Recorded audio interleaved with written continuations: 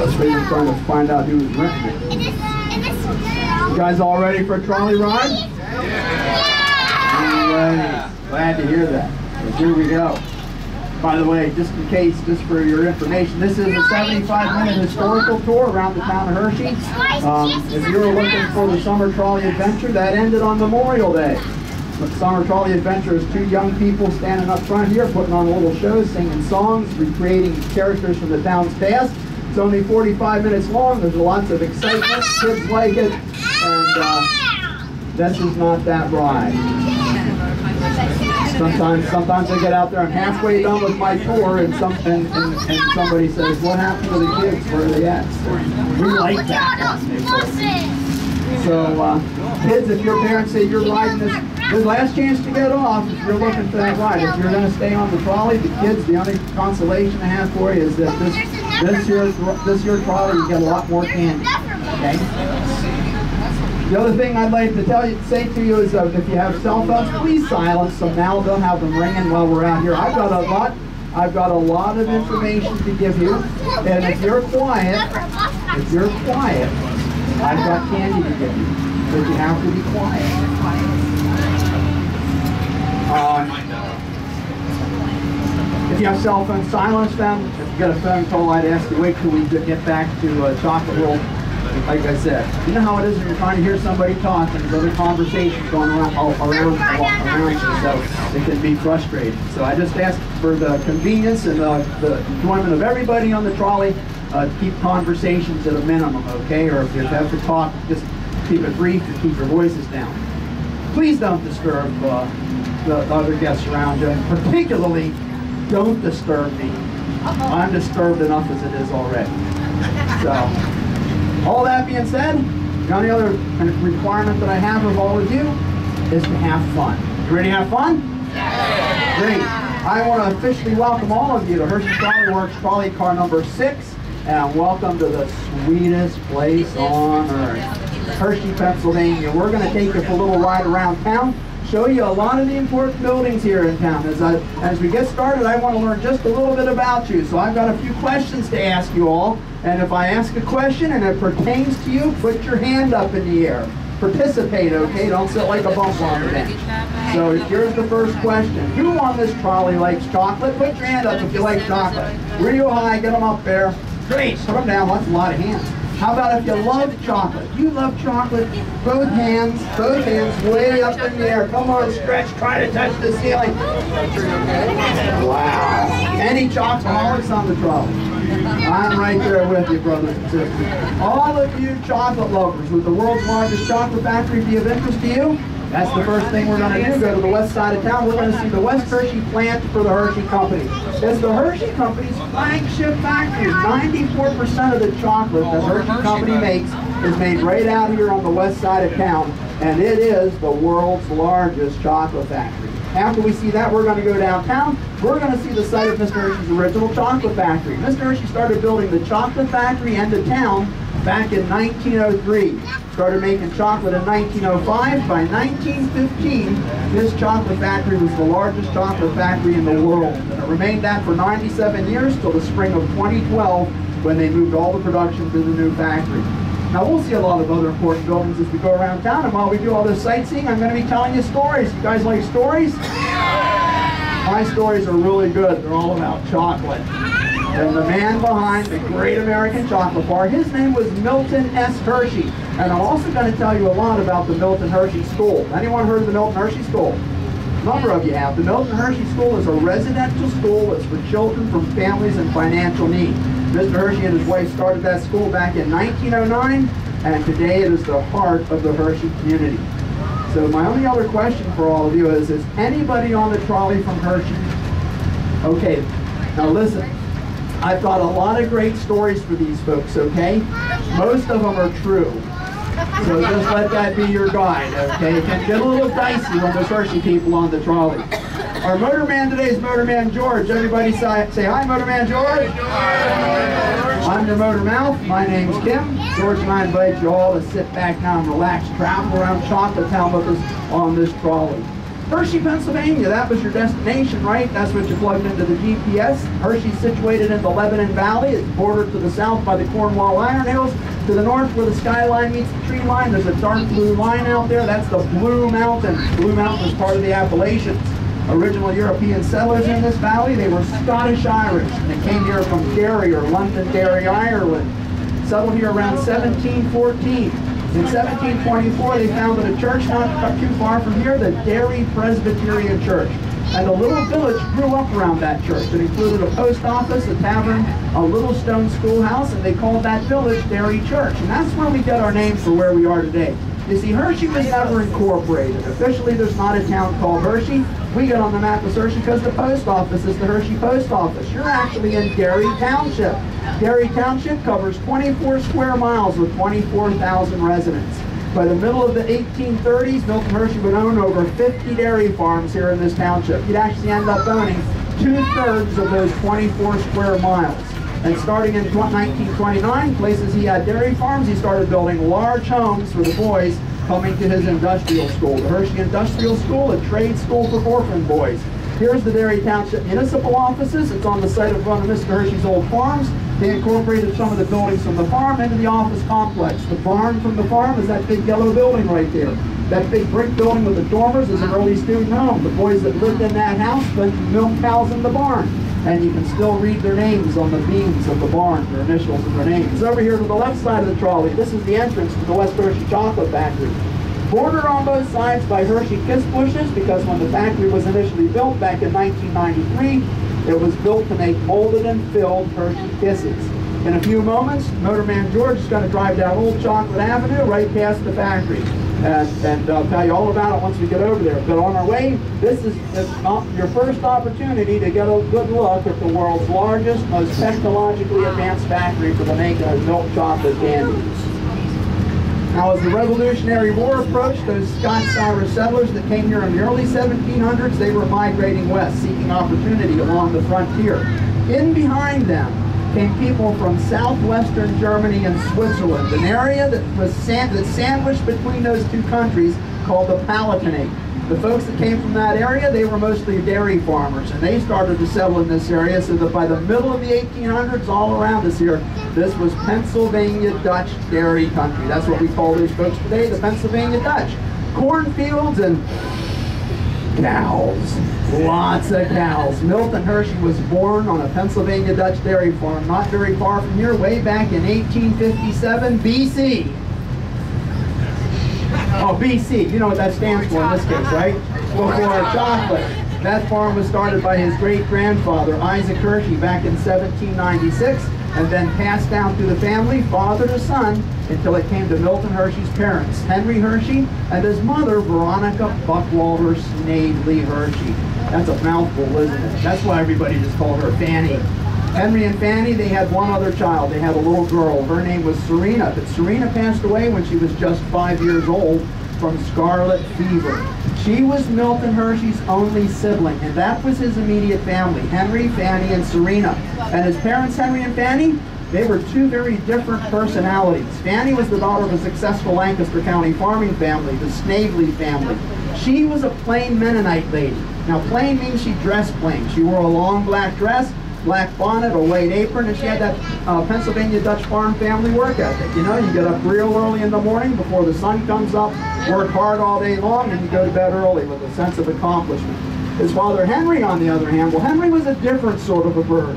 Henry considered himself a bit of an intellectual. His nose was usually in, oh, he always dressed in a very dapper fashion, for one thing. He wore a bow tie, a fedora hat. He carried a cane with a gold cap. His nose was often in a book, and when he wasn't reading, his head was up here in the clouds. He wanted to be all those things he was reading about. An adventurer, an explorer, an inventor, an entrepreneur. And you're going to discover that Milton Hershey was a combination of those qualities. He had the curiosity and the sense of dreaming big like his father Henry. He had the work ethic, the industry, the stick-to-itiveness to get the job done like his mother Fanny. Over here, this is the Penn State Hershey Rehabilitation Hospital, part of the Penn State Health Network. Uh, College of Medicine for Penn State's over there about a mile. You're operating on the medical center over there and you need time to get back on your feet. You come there for rehab. But did you see the outpatient center there as we went by? That second floor above the outpatient center, that's for chocoholic rehabilitation. Yeah. you can imagine a town called Hershey, a chocolate town, there'd be a few people with an issue, right? Henry Hershey took the family away from the farm, went off chasing his dreams. He had a lot of great ideas. What he lacked was the tenacity to make his dreams a reality. So he never made the family much money. And as a consequence, he had uh, Milton Hershey, young Milton Hershey, had a poor, unstable childhood. He lived in 17 different places as he grew up. He attended seven different schools by the time he was 14 years old. And Milton Hershey never had much more than a fourth or fifth grade formal education. At that point, he dropped out of school and went right to work. One year later, the year he turned 15 years old, his mother Fanny made a decision for him that affected the rest of his life and all of our lives too. And I'll tell you what that was in a couple minutes, but right now we're passing the West Hershey plant.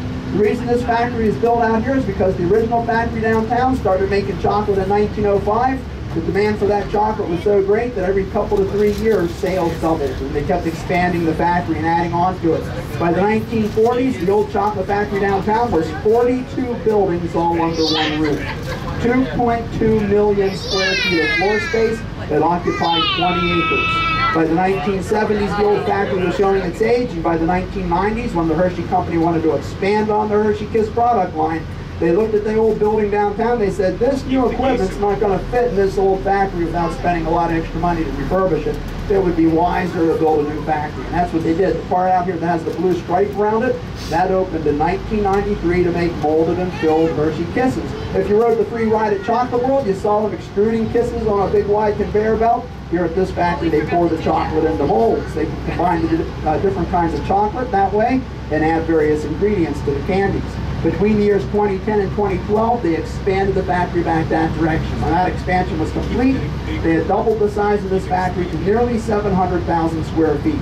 Moved all the production from the old factory downtown here, and all the chocolate we make here in town today is made there. The old factory is retired.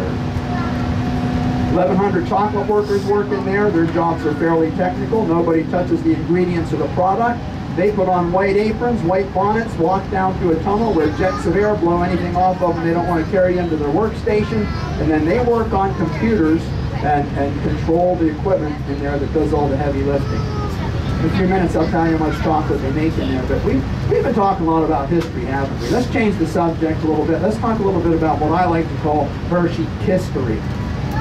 The very first Hershey Kiss, Kiss was introduced in the old chocolate factory downtown way back in 1907. Kids, in 1907, you could buy a Hershey Kiss for just one penny. They wanted a little piece of chocolate that a child could afford. And when they licensed that name Hershey Kiss, they also licensed the name Hershey Hug. They figured if you had a kiss, you had to have a hug to go along with it. I always like hugs with my kisses. How about you? Yeah, yeah, she does. Yeah, sure. Goes without saying. Only thing is, nobody knew what a hug was going to be. It wasn't until the 1980s that someone came up with the idea of taking an almond and sticking it in a Hershey kiss. They briefly considered that to be a hug, but if you look at a, an almond kiss and a regular kiss side by side, well, they look exactly alike. There was no glamour in that. Now, about the same time, an engineer came up with the idea of taking a little milk chocolate kiss, enrobing it in white chocolate, and putting a swirl of milk chocolate around that. They thought, finally, we've got ourselves a hug. That's the kind of kisses that West Hershey was built to make, and that's the kind of kisses I have right here in this basket. Now, let me hang on to your light while we make this turn. And, uh, and what we do on the trolley with these baskets of candy, we take the baskets, pass them back one side, across the back, and then up to the front. That's the most expeditious way to get the candy around the trolley. When this trolley, when this basket comes to you, take one or two of them and pass them on. Does anybody know what the tag on top of a little a Hershey Kiss is called? That little tag there. Yes, ma'am. What is it? Looks like you're going to say a P word, right? Are you to say plume? Is that the word you're looking for? Plume? Yeah, that's you're right. That's exactly what it's called. It's called a plume. And the plume tells you what kind of kiss it is. So this one here, that says hugs on it. It's The only ones with the stripes. The purple ones say hug or uh, dark chalk dark on them. That's a dark chocolate kiss. And the blue ones are my favorites. These ones, these ones here say cookies on them. The blue ones are cookies and cream kisses. Makes my mouth water just saying them. It makes me think of Christmas time. with cookies and milk. So, so what we're going to do, we're to start here, pass them on, take a couple, pass them on. And uh, would you please be kind to Motorman George? Hang on to your wrappers till after our, our police around your sit where you're sitting a little bit. We have a waste basket up here where you can dispose of the litter after you exit the trolley. Now, um, did you know there was another candy maker here in town besides Mr. Hershey? In 1917, 1917, a fellow came to town. He was a dairyman by trade, but as a young man, places he lived, he tried to start little candy businesses. Kept failing until he came here. Got a job at Hershey Chocolate Company, first as a dairyman, then he worked in the factory. And Harry Burnett Reese and Milton Hershey became good friends. And Milton Hershey inspired Harry to try making candy again. In 1928, he came up with the idea of peanut butter covered with chocolate. And that was so successful, he outgrew two factories and his family built this right here in 1957. This is the Reese factory. Today it's a Hershey company. But um, uh, today is a state-of-the-art facility, just like West Hershey. All the ingredients come in one end of the building and out the other end. Every day with the help of 600 chocolate workers, come 5 million full-size wrapped and bagged peanut butter cups. Who likes peanut butter cups? How about those little miniature ones? The ones you unwrap and pop in your mouth when both lines are operating simultaneously over here? They can make 9,000 of those a minute. They also make Kit Kat bars. Altogether, they make 2 million pounds of candy a day at the Reese factory. At the West Hershey plant right here, every day, 340,000 gallons of fresh milk come to this factory from farms within a, a 90 mile radius to make milk chocolate. And every day over here at the West Hershey plant, they make upwards of 80 million Hershey Kiss products. That's over 3 million Hershey Kisses an hour, 50,000 Hershey Kisses a minute, 900 Hershey Kisses a second. A lot of kissing going on in that factory. They make 4 million chocolate bars a day, chocolate bars with almonds, symphony bars, Rolo caramels, chocolate syrup. 3 million pounds of chocolate and chocolate candy every day at West Hershey's. 2 million pounds of candy a day at the Reese factory. Now do you understand why we call this the sweetest place on earth, Chocolate Town? No brag, just fact. Anybody sign up for the, uh, the, the chocolate tasting experience today? Have you done it yet? Got your certificate, right? Well, I suggest you take your certificate over there and see if you can get a job. Because that's the technical center for the Hershey Company. And, and that's where they develop their new products. And that's where they hire people whose job it is, is to taste chocolate. They call them palateers. And he got he, he sat in the class and he got a certificate that says Hershey Palatier on it. So I always tell my guests, try it out, see if you'll get, get your job. I haven't heard anybody get one yet. Why not try? Even if it's for a day, that would be great to be able to say, I was a chocolate taster for the Hershey Company. Well, uh, in 19, in, in uh, let's see, what year was it? When Milton Hershey was 15 years old, his mother Fanny apprenticed him to a local candy maker down in Lancaster, Pennsylvania, a man named Joseph Royer. And at Royer's Ice Cream Parlor and Garden, Milton Hershey learned how to make all the good stuff. Cakes and pies, roasted nuts, ice cream, sugar candy, parables. Does that sound good to you? Yeah? I've always said that's a job a 15-year-old boy can really sink his teeth into. And that's where his lifelong love for candy began. Four years later, at the age of 19 years old, he decided it was time for him to start his own candy business. He chose Philadelphia, Pennsylvania as the place to get his start. The year was 1876. That date ought to sound familiar to most of us. That's the year our country was celebrating its 100th birthday. And in Philadelphia, to celebrate, they were holding a big Centennial World's Fair. It's estimated that one out of every four Americans visited the World's Fair in Philadelphia. And young Milton figured if he got his start down there, he couldn't fail. Well, he was right. He did great at first, but after the party was over and all the crowds went home, times turned tough. He had high sugar bills. Sales didn't keep up with the cost of his sugar. And although he worked at it for six years, he worked hard too. Towards the end of those six years, he worked himself sick. But in 1882, he went bankrupt in Philadelphia. He had to close his doors. His first bankruptcy, not his last one. Went home to his family in Lancaster, where he got a letter from his father, Henry. Remember Henry the adventurer? In 1882, Henry was out in Colorado. And uh, he observed that there was a lot of money being made by silver prospectors. He, he wrote to Milton, he says, join me out here son, we'll strike it rich together. Milton packed his bags, headed out to Colorado. He got out there, you know what he found? He found most of the silver had been discovered. He didn't spend one day digging for silver. He went to work for a candy maker in Denver, Colorado, and that candy maker shared some knowledge with him. The knowledge was how to make his caramels softer, chewier, tastier, and able to stay fresh longer on the shelf by adding fresh milk to the caramels rather than the paraffin wax Mr. Royer taught them to put in his caramels to make them chewy. See around here, that's what most candy makers did. They put wax in the caramels to give them chew. What would you rather have, wax caramels or milk caramels? That's what we no-brainer, right? He took that knowledge and headed off to Chicago, then down to New Orleans. Finally, in 1884, he went up to New York City. Figured he could make it there, he could make it anywhere. But by 1886, he was bankrupt for the second time. Now 10 years had gone by. It was 1886. He had four failures. Two of them had been bankruptcies. He was 29 years old, and all he had to show for 10 years of effort was enough money to buy a train ticket to get home to his family in Lancaster. When he went home to Lancaster, the only family member who would talk to him, the only person who, who didn't want to see his shadow darken their door because he borrowed so much money from him, was his mother's sister Martha. He called her Aunt Mattie. And he went to his Aunt Mattie, and he, excuse me, I'm sorry, and he said something like this. He said, um, he said, Aunt Mattie, would you, would you mortgage your home and loan me the money to start another candy business? No. Before he answered, she was a big Milton supporter. And, and she did that. She mortgaged her home for $700 Yeah, and gave him the money. Is it good? And he started what he called the Lancaster Caramel Company. And finally, after all of this time, this one didn't do very good either.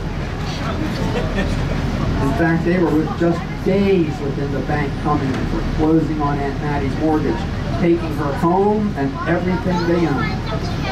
I'll tell you what happened in a few minutes. Right now, look out here. This is Chocolate Avenue we're on right now. Now, what would you expect to find lining a street called Chocolate Avenue in a town called Hershey? Look out the windows and up. You'll see some of our famous Hershey Kiss streetlights out here. 128 of these streetlights line Chocolate Avenue. They alternate between wrapped and unwrapped Hershey Kisses. They're the only giant kisses that Hershey makes. They're made out of white chocolate.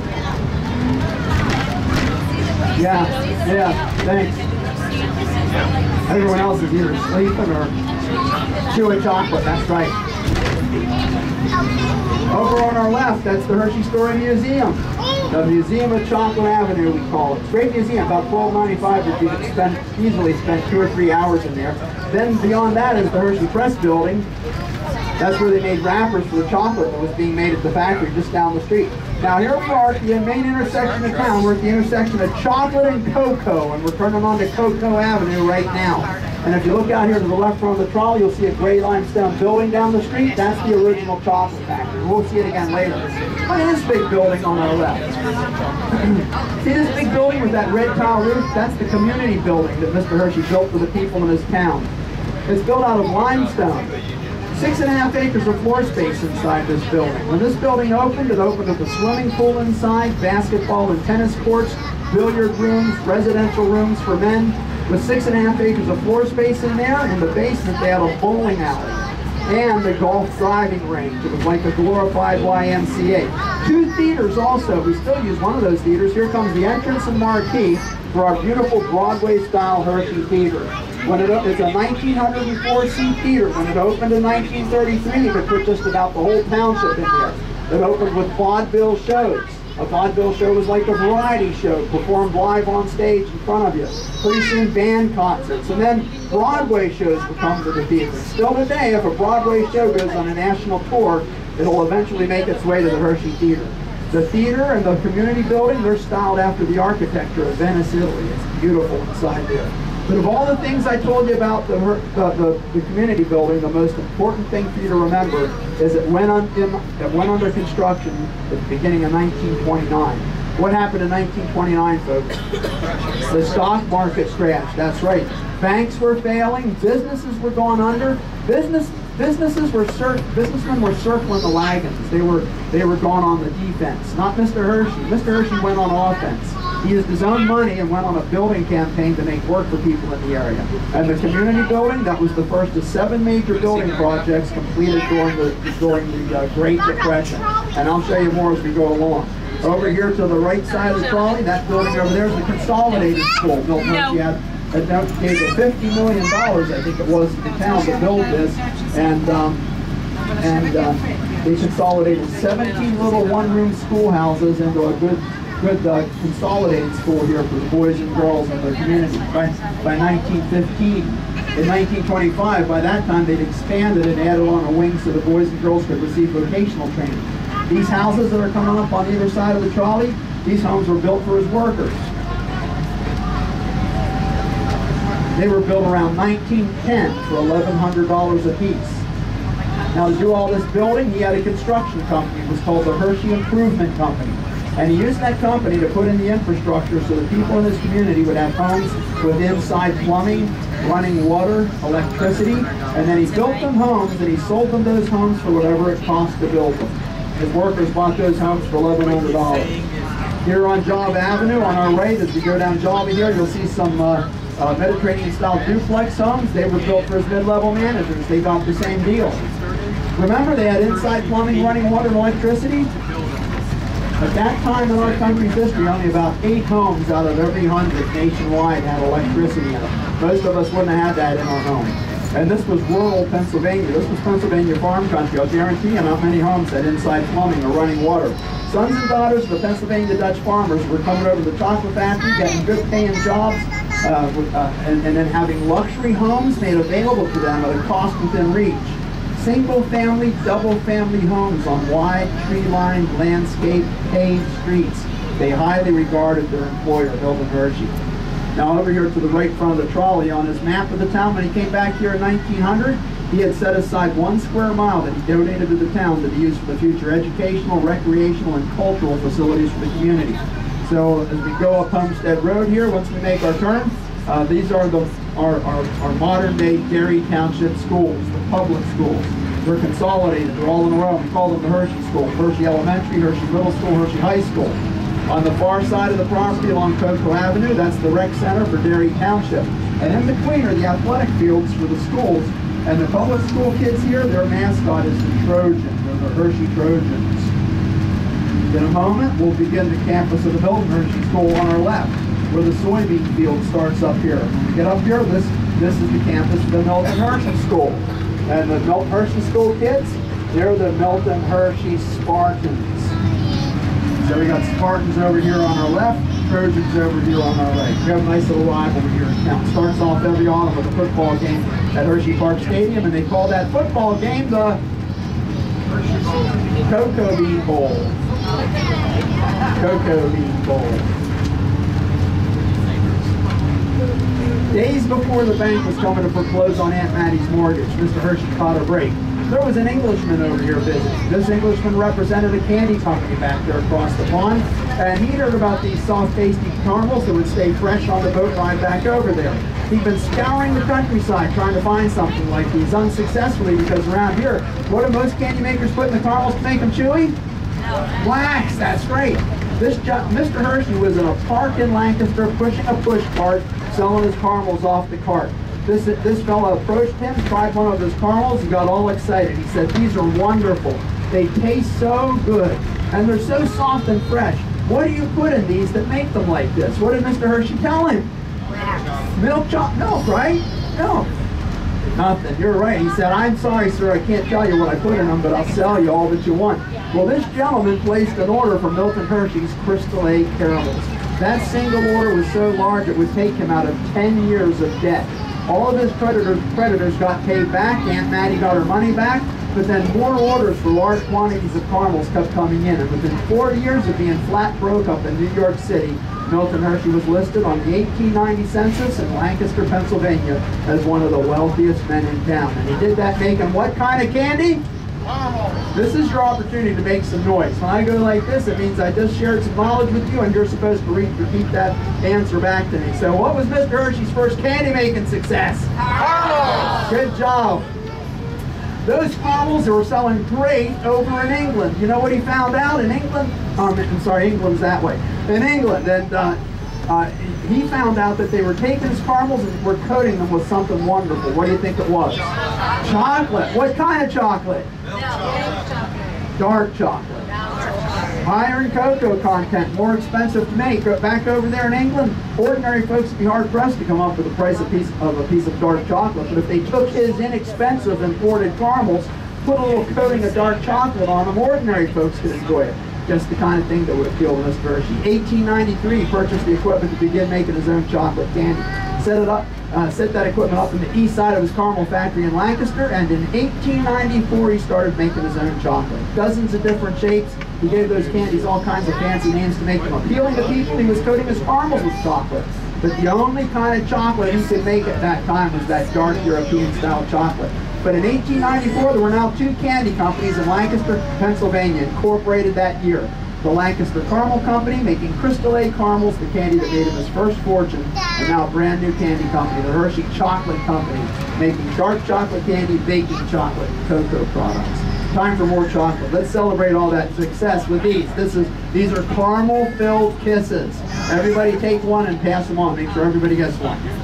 Right now we're on the main campus of the Milton Hershey School. Look out here to the left front of the camp of, of the trolley. You should be able to see a big white dome building over there. That's called Founders Hall. It's a memorial built to honor the founders of the school, Milton and his wife. I'll introduce you to her in a moment. There to our left is a big red brick building. That's the, uh, the, the uh, infirmary for the school. It's a 200-bed health center. They need a big health center here on campus because there's 2,100 children who come here and call this home. They can go three to six weeks during the summertime, five weekends during the school year, the rest of the time they're on campus. Uh, elementary school for the school is over here down this lane, Fanny B. Hershey Memorial Elementary School. It's for four-year-olds through fourth graders on the far side of the campus, up on top of, not campus, but on the far side of town by Chocolate World, up on top of the hill that says, welcome to Hershey. Remember seeing that big castle up there? That's the middle school for fifth graders to eighth graders. And then back over here, this is the high school campus. This is called Spartan Commons for 9th through 11th, 12th grade, 9th through 12th graders. It's, Spartan Commons is huge. All the school buildings are really big because classroom sizes are really small no more than 15 to 16 kids per classroom, and most classes are smaller than that. And here at Spartan Commons, besides classrooms for academics, there's classrooms for vocational training as well.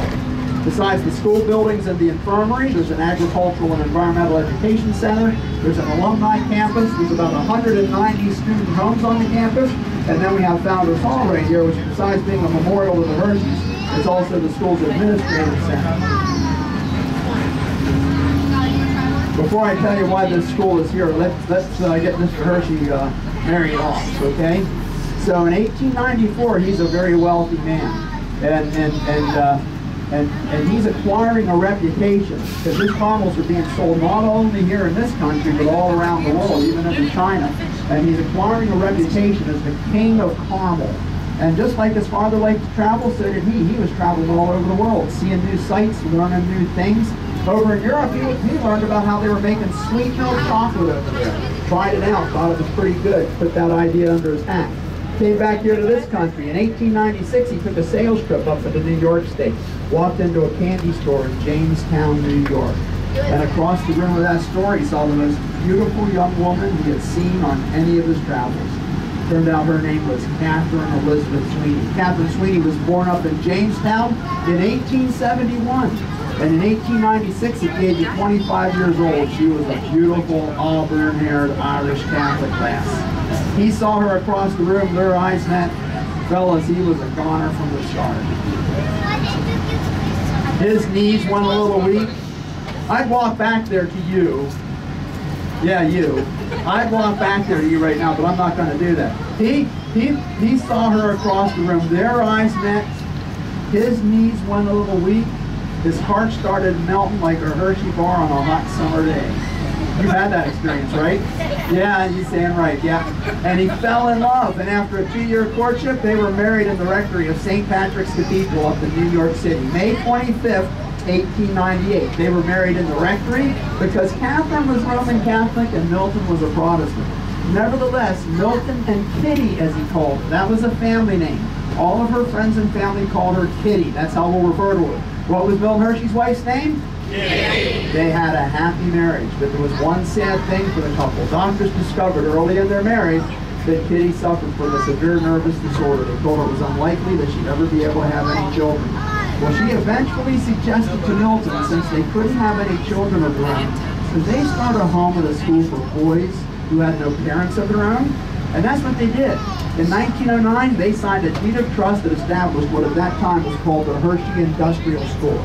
Then the following year, 1910, the first four boys moved into the Hershey homestead, Mr. Hershey's birthplace. They moved in there with their house parents, George and Prudence Copenhaver, and the Copenhavers would be their teachers as well as their family. That right there was the humble beginning for what today is the world's largest privately endowed pre-kindergarten to grade 12 home and school for boys and girls from families of low income and social need.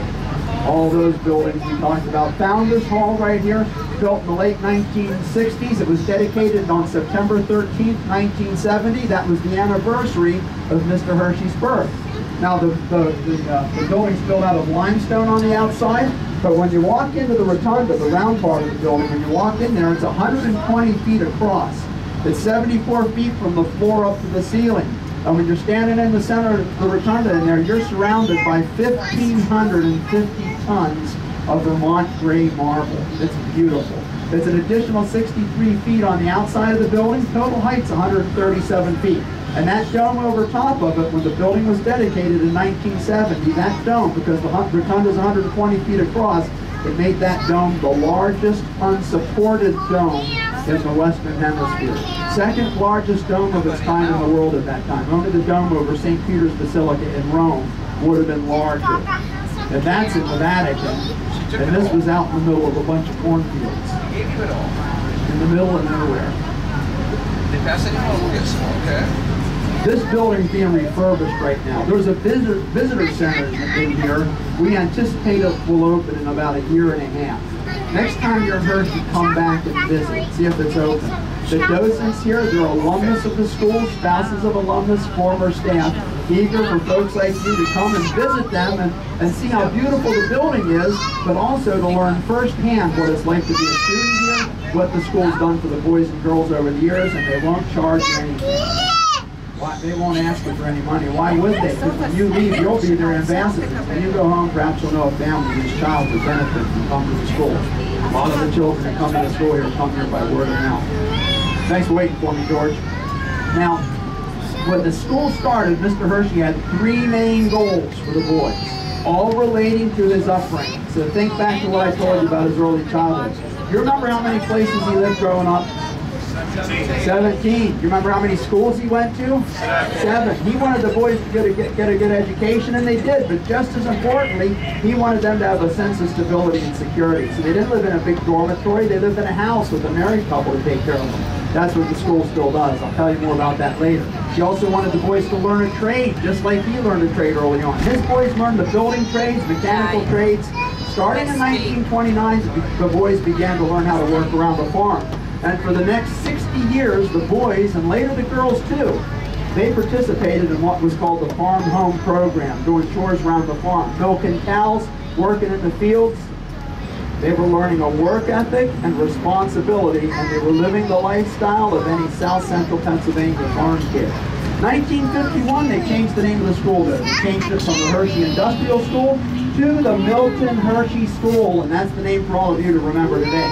Milton Hershey School. What's the name of the school today? Milton Hershey School. With that name change, they shifted focus more towards academics. Today, the school is more of a college preparatory school. Most graduating classes, over 90% of the kids will go off to some form of higher education. But still, when they enter high school in ninth grade, they're required to choose one of 11 career paths and get the equivalent of a two-year certificate in that career path as part of the graduation requirements along with business and financial management and accounting, computer technology, journalism and electronic media. Those are the fancy ones. They can still choose agriculture. And over there, that's a classroom on our right. The fields out there, the orchards up on the hill, down Meadow Lane, there's some greenhouses. Kids in that program come over there, learn how to plant, cultivate crops. They have a student market where they learn to market their produce. Here's the oldest building on campus. It's called Kinderhouse. 1816 farmhouse. Milton Hershey acquired it. It became an early student home. Today it's the school's archive. In the fields beyond it, those are all homes for 9th graders through 11th graders. The 12th graders live in these big brick homes coming up on our right. These are transitional living homes for the high school seniors. They're like apartment buildings. They're, transitional living homes for boys and, and ones for girls. They live there with the resident assistant, keep an eye on them, and help them to learn how to budget. Because the high school seniors are given an allowance to live on each month. And they have to do their own shopping, pay their own bills, get up in the morning, prepare for the day's activities, make their own meals. They spend their last year here getting ready to head off to college or to the workforce. Here's the Hershey Homestead, Milt Hershey's birthplace, that big gray house over here. It's huge, isn't it? Because That wasn't what it looked like in 1826. Look at the patio furniture in front of these stairs here that go up to the back porch, right there. That center section of the house is built out of field limestone. This Milt Hershey's great-grandfather, Isaac Hershey, built that in 1826. Milton Hershey was born in that part of the house on September 13, 1857. His cradle's still in the room he was born in. Now the house was sold in 1877. He reacquired the house in 1897. By then the wooden wings had been added on each side of the stone farmhouse. He and Kitty lived there till 1908. Then, then it became in 1910 the first student home for the boys at the industrial school. Today it's the residence for the presidents of the Milton Hershey School. And they added on a garage and a breezeway. They put this black fence around it, landscaped all around it. They really fancied it up. A lot of that landscaping is to make it more private because the, high, uh, the, the president of the school, he entertains the kids a lot over here. That patio furniture and everything. So they'll have picnics and things out here. They don't want the kids to feel like they're being put on display. So that gives them a, that gives them privacy. But the other thing about the homestead right here, besides Mr. Hershey being born here, this is also the birthplace of Hershey's milk chocolate because when Mr. Hershey bought this house back in 1897, out here behind these, these homes right here in this field, there was an old barn sitting out there. He had that barn demolished, and in its place he had constructed a brand new modern milk house with a laboratory attached to it. He started working in that laboratory process and recipe for milk chocolate. Now, milk chocolate was little known in this country in the 1890s. It was being made over in Europe by companies like Lindt and Nestle, one little batch at a time, and it was a pretty expensive luxury over there. He wanted to apply mass production to making milk chocolate, make it affordable to everybody. He had a pretty good idea about how to do it, but there were some processes he had to work out, basically by trial and error. Worked in that milk house for two years with some of his trusted workers, 20-hour days. Till finally in 1899, say that date with me everyone, 1899, one more time, real loud. 1899. He introduced the world to the very first mass-produced affordable milk chocolate, and he introduced that milk chocolate with a five-cent chocolate bar from his factory down in Lancaster, and they called that chocolate bar a Hershey bar. It was instantaneously popular. It was so popular the following year, 1900, he said, caramels are a fad, my future lies in chocolate. He sold the Lancaster Caramel Company that year for $1 million. Took that million dollars, came up here to Derry Church where he was born. Started buying up cornfields, started building his chocolate factory in his town. And as we go around town and, you, and you're looking at the sites, keep in mind what you're seeing as a result of the continued popularity of his chocolate, his business acumen, but particularly his concern for the people in his community, and especially his concern for the boys here at the school. You see, Milton and Kitty never did have any children of their own. They said these boys will be our boys whether we happen to be their parents or not. And those boys looked on them as family, and those boys were Milton and Kitty's heirs. And the homes we're passing by right now on either side of this trolley, these are the homes of the modern day heirs of Milton and Kitty Hershey. The way these houses work, 8 to 12 kids live in each house. The homes are age-based and gender-based. So there's homes for boys, homes for girls. They live in a house close to the school they attend, and they live there with a married couple whose full-time job is to love, nurture, and support these children. House parents here, though, they say it's more than a job to them. It's a lifestyle, a life choice. Now, when the school started, it was for boys whose fathers had died. Later, they changed the trust so that one or both parents could have died. In 1977, the first girls came to the school, and about that time, they did away with the requirement that a child had to be an orphan. They recognized by then that there were a lot of children out there who were essentially social orphans. So these days, in order to come to the school, a child can be a boy or a girl. They may have one or both parents, but they have to be from a family struggling financially. They have to be a U.S. citizen, have average health, average intelligence. They may not have been in trouble with the law. If they meet all of those requirements, they can apply to the admissions office, they'll go through a formal interview process, and if they're accepted, they can come to the school anytime between their fourth, fourth birthday and their 14th, I'm sorry, got that in my head.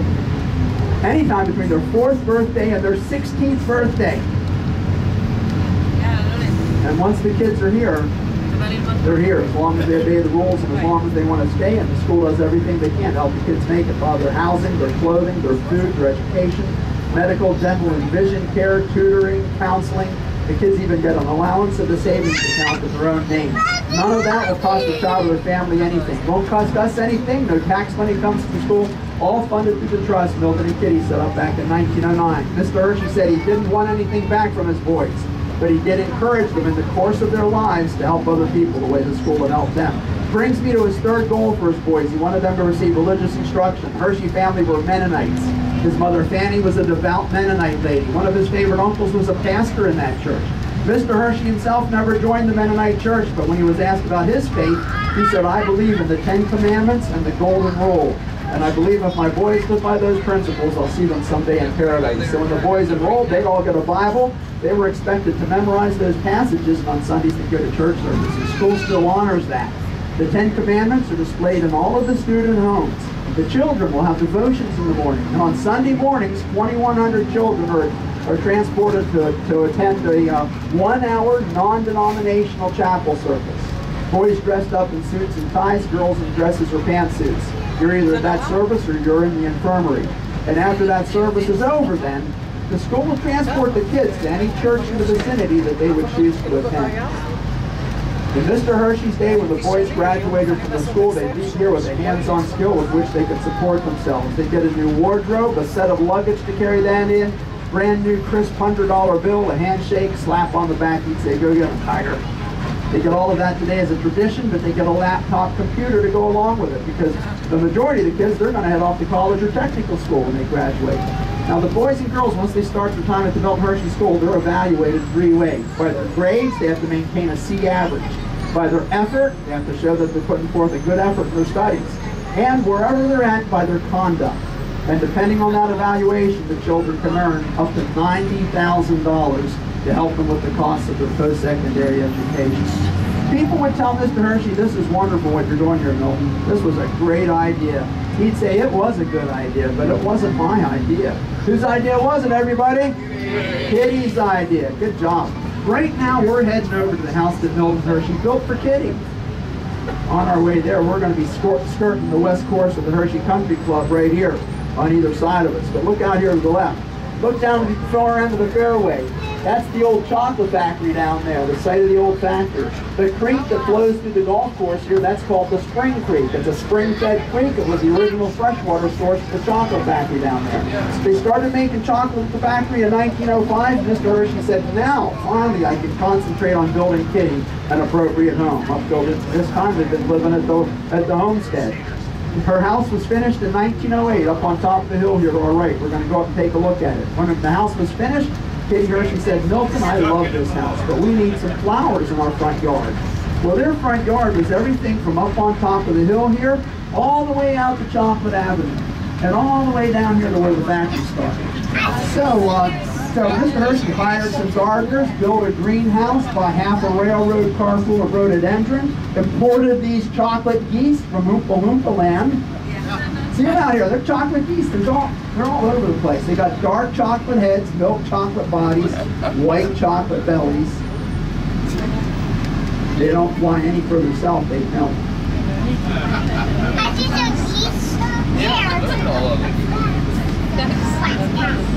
You can take home all that you want with you. Just don't bite them. They bite back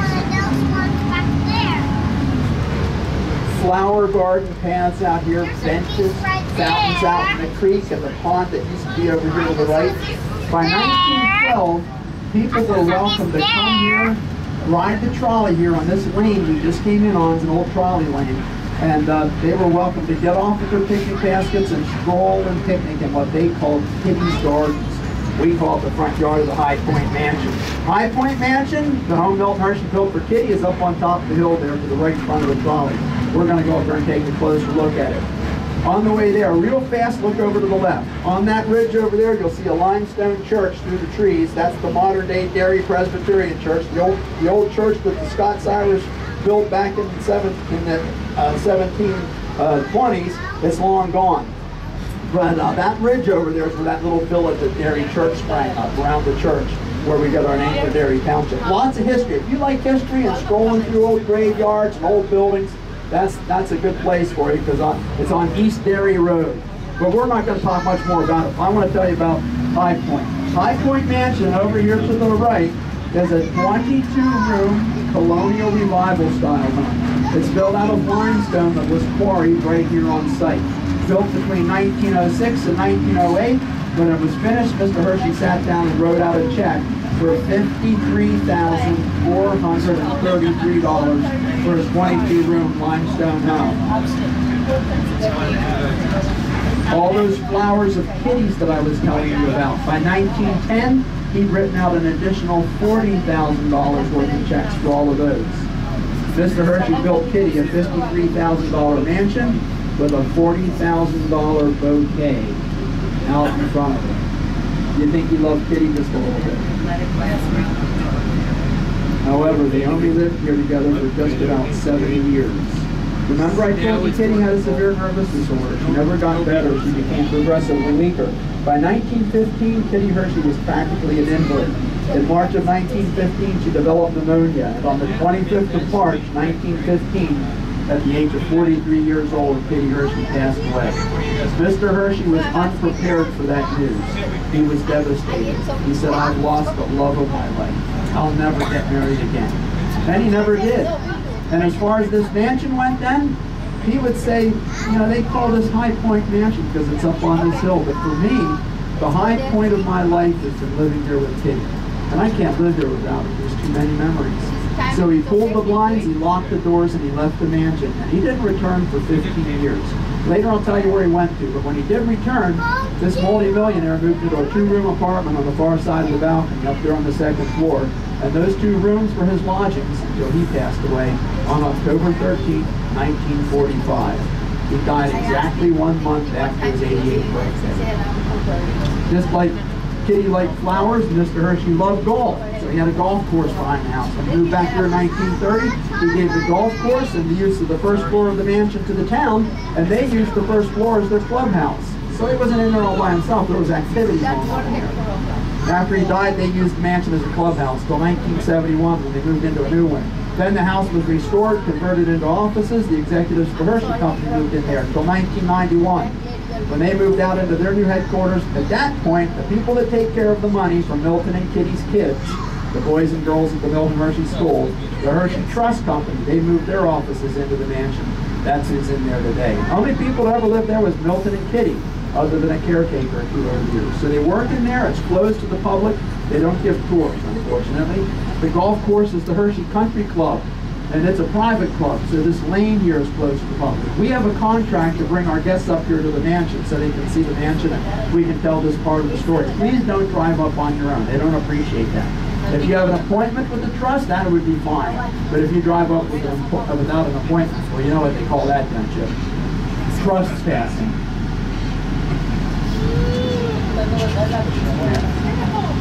It's a big house. Look at it as George drives by.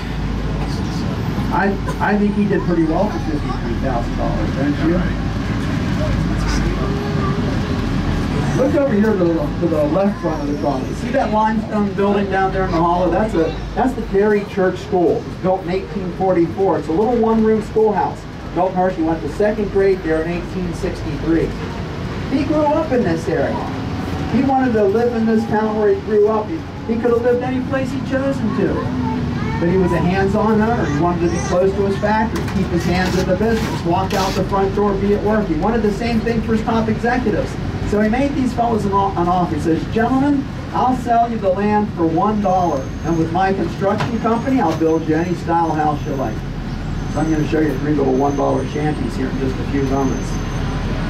There was a stipulation, though, that when they retired or left the business, that they would sell the house back to the trust. Didn't come back for a dollar, though. Came back at market value. One of the houses was for his friend William Franklin Reynolds Murray. William Murray was a confectionery salesman for a, a, a company out of Pittsburgh in the middle of the 1890s. The saying is, or the, the story goes that he met Milton Hershey in a billiard parlor in Lancaster. And uh, William Murray made a bet with Mr. Hershey. He said, he said, I bet I can sell all the chocolate you can make in that factory across the street in a year's time. Mr. Hershey thought that was a pretty good bet. He took him up on it. Pretty soon became apparent that he was going to lose it. He said to Mr. Murray, he said, if you're that good of a salesman, I'm making you the general manager of my chocolate factory. Later on, William Murray became the president of the company. Ran the company for over 40 years on our way there. Now that house was the house to the garden. Mr. Hershey didn't like the stonework on that house, so he gave it to his gardener. This next house was the house he built for his personal attorney, John Snyder. That was a gift from Milton Hershey to John Snyder in 1910 for his hard work, wise counsel, and his friendship. But these next three houses, these are these $1 houses. First treasurer of the company lived in that stone and frame house right there behind the trees there. William Murray, the first president, lived in that White House with the gray trim. And then, and then James Lighthizer, an early board member on the Hershey Trust, he lived in that brick home. All came back into the trust at market value. They've been divided up into apartments. On our right are our famous Hershey cocoa bushes. Planted in 1909 right at the edge of Kitty's Gardens. They're cocoa bushes because they spell Hershey cocoa. They're actually barberry bushes. Now look at this black fence right here. This marks the perimeter of the original chocolate factory. Look at that black fence. Visualize a wall three to five stories high and the building gone all the way back towards those yellow silos. That was the that plus the rest of the factory that's still there, that was the original size of the factory. Two-thirds of the chocolate factory, by the spring of 2012, the foundation is in very poor condition. So two-thirds of it's gone. What remains, they refurbished, restored the foundation, refurbished it inside, and uh, today it's office of the Hershey Company. But when this when this factory was in the peak of production, they could make 33 million Hershey Kisses every day. They could wrap 1,500 chocolate bars in a minute, and it would take the milk from 50,000 dairy cows for just one day of chocolate making at that factory. Downs First Hospital was over here at the community building. We sort of passed it. It's on the. It's over your left shoulder there. It was up on the fifth floor. Mounds First Bank's on our right, Hershey Trust Bank, founded in 1905. This building was built in 1915, designed by the same man that, that designed the, the uh, High Point Mansion and the community building, C.M. Urban out of, out of Lancaster. Look at, to, to the right here and look to that uh, limestone portion of the old chocolate factory. That part of the factory was built in 1935. And when it was built, it didn't have any windows in it. The people in town called it the windowless office building, one of the first industrial buildings in the country to have air conditioning. As we cross the bridge, we're going into the fun part of town. On our right is Zoo America North American Wildlife Park. It features 200 North American animals on 11 acres. It started out in 1910 as the Hershey Park Zoo, and Milton Hershey gave his private wildlife collection to the town, and it became the foundation for the zoo. Hershey Park that's over here to the left. Anybody been to Hershey Park? Did you know that Hershey Park started out just as a picnic grove? In 1907, started out as a place where the people in town could go boating, fishing, and picnicking along the Spring Creek right there. Then in 1912, Mr. Hershey added a carousel to the park. 1923, they added a wooden roller coaster. They called it the Joy Ride. Later, they changed the name to the Wildcat. Hershey Park took off from there. Today, Hershey Park sits on 121 acres there's over 67 rides and attractions. 14 of them are roller coasters. On our right, across the street right there, that's the one, the original Hershey bar. Hershey bar. That's a good bar. It's good bar, isn't it? Full of nuts. Yeah, full of nuts. People go there on payday. Or just to take five. They get a crackle, huh? Yeah, yeah, yeah, right.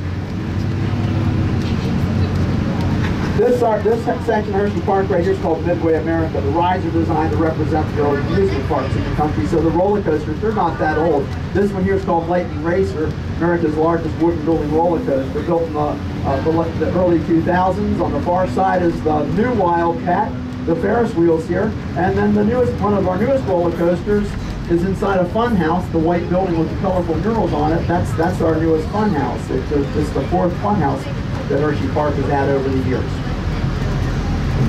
Out ahead of us here as we cross uh, Hershey Park Drive and go up the hill, you're going to see a big red brick building up on top of the hill. That's the main offices for the Hershey Company. The Hershey Company today is a global company. There's, there's sales offices or manufacturing in, in, uh, in 60 countries around the world. There's factories, factories in 14 countries. Uh, there's 14 factories around the world. Eight of them are in the United States, one of them is in Canada, two down in Mexico, one in uh, India, one in Malaysia, and one in Greater China. Does that make 13? I mean 14? I think it does. So uh, 24,000 Hershey employees worldwide. But Hershey here is the world main headquarters. And ladies, up here at the, at the main office complex, that's where the offices are for Michelle Buck. Since December of 2016, Michelle Buck is the 12th president and CEO of the Hershey Company. She's the first woman to hold that position and only the 27th woman to be at the helm of a Fortune 500 company. A year after um, Kitty Hershey's death, Mr. Hershey was still in mourning. And his mother Fanny observed that. She said, Milton, you need to get away from town and forget about business for a while. So he took her and some of her friends and they went off on vacation. Went down to New Orleans. But then a cold snap came through and they and they and so they went a little further south to Cuba. And he liked it there. He liked Cuba. He liked the climate. He liked the people. But what he liked best of all was he looked around, he saw thousands of acres of sugar cane. And he got to thinking about all the years he went out of business because of the high cost of sugar. So he started buying up sugar cane fields. Not only that, the, the, First World War was going on, and a lot of his sugar was coming from European sugar beet fields. So he started buying up sugar cane fields in, in, in uh, Cuba.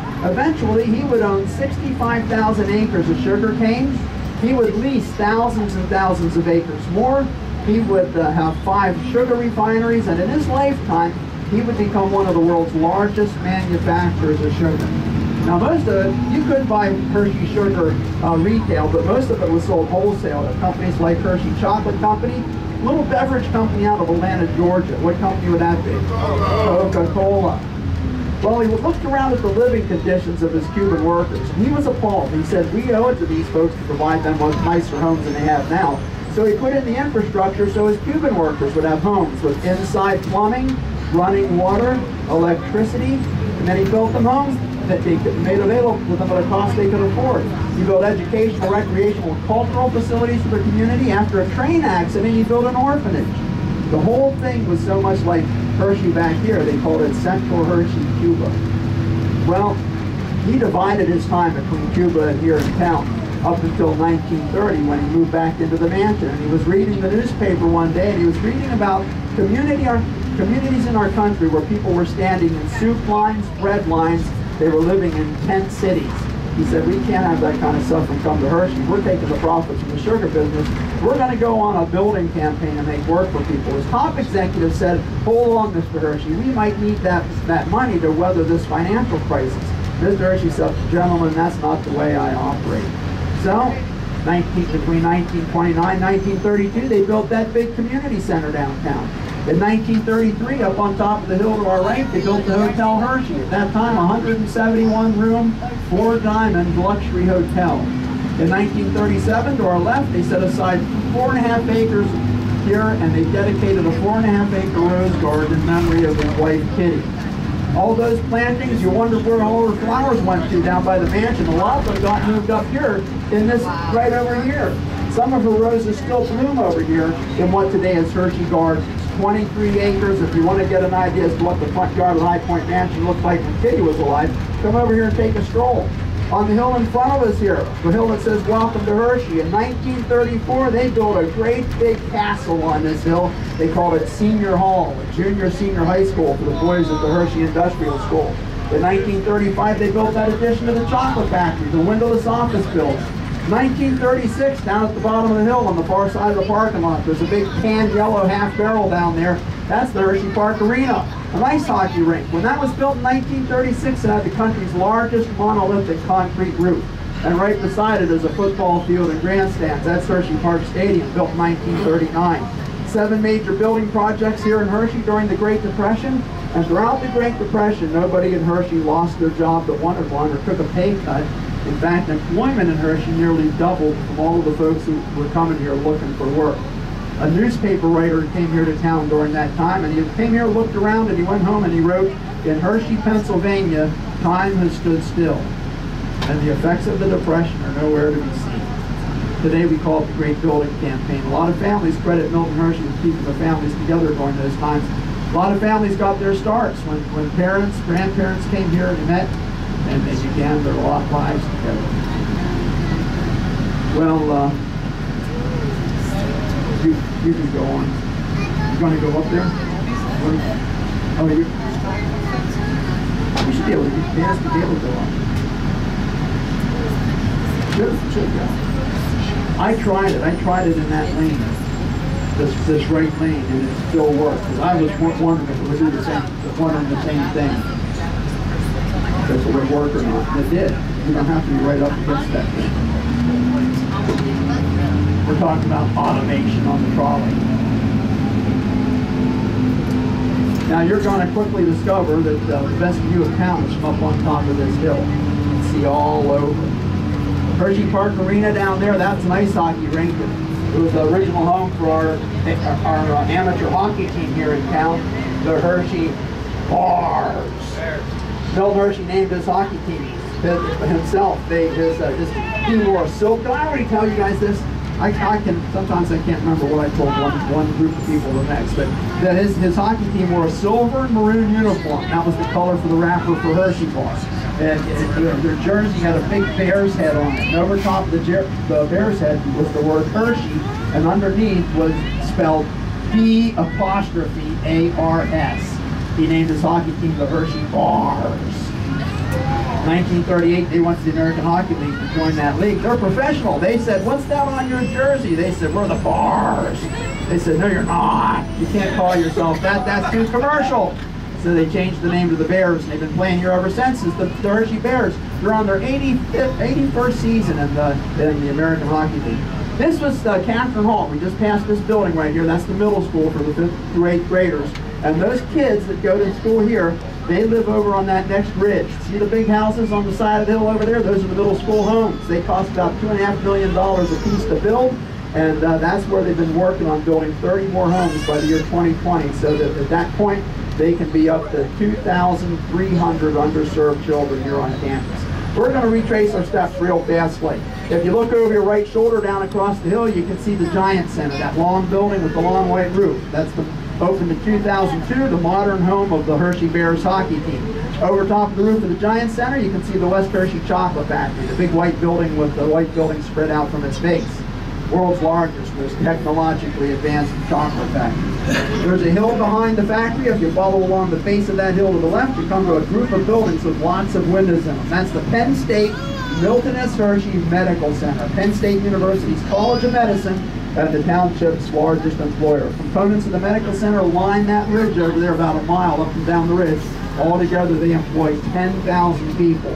Medicine is the township's largest employer. Candy making takes a back seat to that. Come this direction, directly towards us from the medical center, and amongst the trees there on the left, you see a yellow, uh, yellow tan building there, a long building with a tower on the front, what looks like two black eyes looking at you over top of the trees. That's the Reese factory. We're making all those peanut butter cups.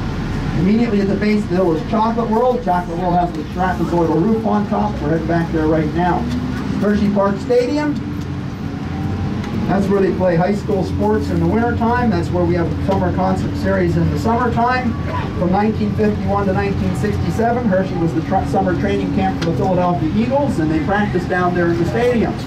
At that time, the stadium was also the town's tornado shelter. Everybody would go over there seeking shelter whenever there was a tornado warning, realizing as long as the Eagles were playing down there, there was very little chance of a touchdown. Sorry, Eagles fan. That's just a joke. Behind it is, a, is an arena.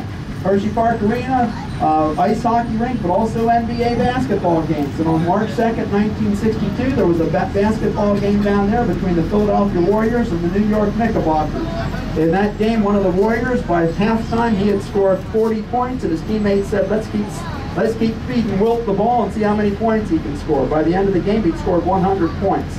That's still an NBA individual game record. Happened down here at the arena. Big tower sticking up in the air with a flag on top of it. It's called the Kissing Tower. To the left of it, behind it, that red tile roof is the old, is the uh, community building. To the left of that, in the distance, you can see Founders Hall. It's, it's going to go out of sight pretty soon. To the left of that is uh, those yellow silos. Those yellow silos are cocoa bean silos. There's 24 of them, and all combined, they can hold 90 million pounds of cocoa beans. That was enough cocoa beans to make chocolate for nine months. And then those smokestacks that say Hershey on them, they're part of the town's old power plant. That power plant provided electricity for the chocolate factory, for Milton Hershey's community, and for the trolleys that operated here in town from 1904 to 1946. Hershey was a trolley town. Anybody have any questions? Whew. I'm going to take a break.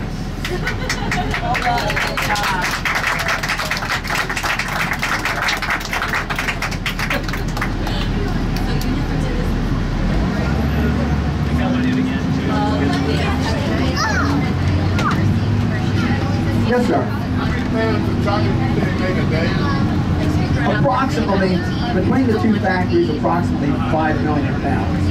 Yeah. Depending on the time of year, things like that. Any other questions?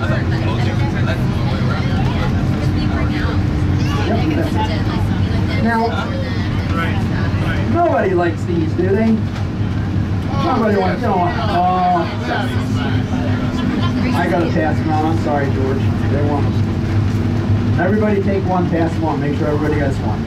Peanut butter cups. I love them. Those are my favorite from when I was a little kid. When I was a little kid, my father on Fridays would go to the, take his paycheck and, and go grocery shopping, cash his paycheck and go shopping. Sometimes he'd wait till Saturday, and when he waited to Saturday, that was that was wonderful because I'd go along with him. And we would go to the grocery store and we'd come to the candy aisle. And uh, when we got there, I would point to the top of the aisle. It always seemed to be on the top shelf, way out of my reach. Was this box about that about that big square, about that thick, two layers of of, uh, of Reese's peanut butter cups.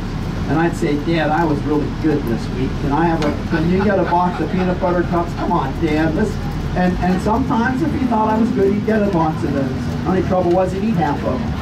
Uh, but, but, and, but share some with me. Uh, oh man, I love peanut butter cups.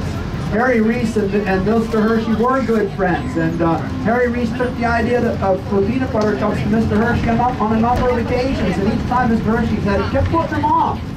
But finally, on the third time, Mr. Hershey said to Harry, he said, listen, Harry, it's a good candy, I'll give you that, but I got a lot on my plate right now. I'm working on onion-flavored ice cream. What? Yeah, and he said, once I got that licked, I'm going to try my hand at cocoa butter soap. But look, you're doing a good job with that. You make it, and I'll help you. Well, he was due to his work. Sent some of his engineers down to Harry's factory, helped him come up with better processes for making peanut butter cups. When money was tight, Milton Hershey would sell Harry chocolate at cost and on credit. By the time Harry Reese died in 1956, his company was Hershey's number two customer for bulk chocolate. His, his uh, family ran the business till 1963. At that point, they were ready to retire. So in 1963, they sold their business to the Hershey Company for $23 million. And for $23 million, Hershey got its number one selling best loved candy, Reese's Peanut Butter Cups. Got one last treat for you as you get off the trolley today. But before I do that, I need to tell you one other thing. Remember, Milt Hershey never had any siblings that survived, right? And he didn't have, he and Kitty never had any children. So three years after Kitty's death, he got to think of what would happen to the boys at the school if I were to die unexpectedly the way Kitty did? So in 1918, he quietly went up to New York City and signed over the bulk of his wealth. That included all of his stock in his chocolate company, which that alone, by 1918, was valued at $60 million. All of that went into the trust, and the only thing the trust could ever do with that money is to support the school in perpetuity in honor of Kitty.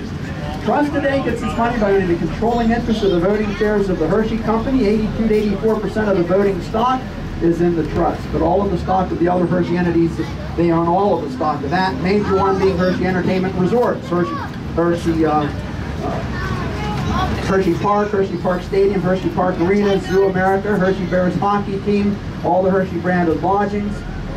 Anytime folks come up here to Hershey to have fun, stay at any of Hershey's locations or eat Hershey's products, any place in the world, a portion of those profits come back to the trust to help take care of the kids at the school. The trust today is conservatively valued at $12 billion. And the reason they don't want you to go up to the mansion, all the money, is, all that money is kept in the closets and stashed in the halls. Please don't go up there. Now, one last treat. It's Hershey's Chocolate History Diploma, suitable for framing. Uh, so you can take this home, put it in a frame, hang it on your wall. Now, I just don't give these out. You have to pass a quiz. I figured you've been on, on the trolley all the time. You must have learned something. So it's only five questions. It's an oral quiz and it's a group effort. So let's see how you do. What was Mr. Hershey's first candy making success? What was his wife's name? Kitty. What year did he introduce the Hershey bar from Fatty and Lancaster? 1899. Good job. What's the name of the school today for the children from families in financial need? Milton Hershey's. What was it? Milton Hershey's. Milton Hershey School. You're right, you're getting there. And whose idea was that school? Kitty. Kitty's idea. Good job, everybody.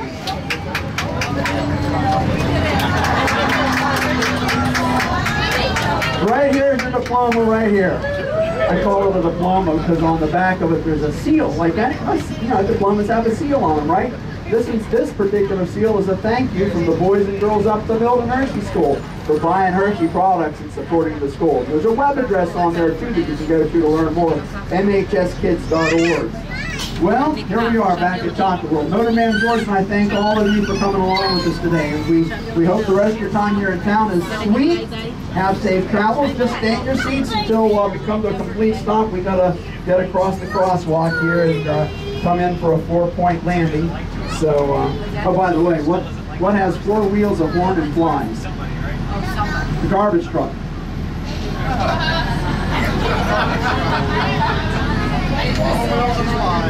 Hey, we've had a lot of